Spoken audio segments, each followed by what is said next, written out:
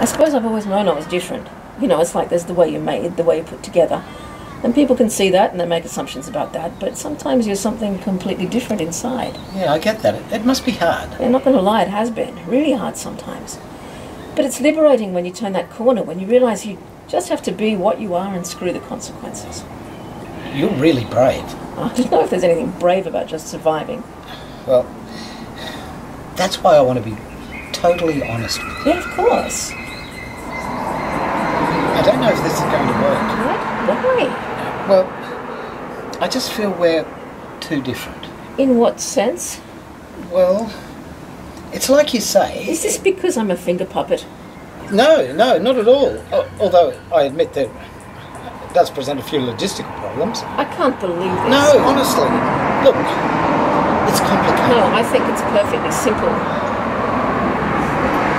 I don't need your hate.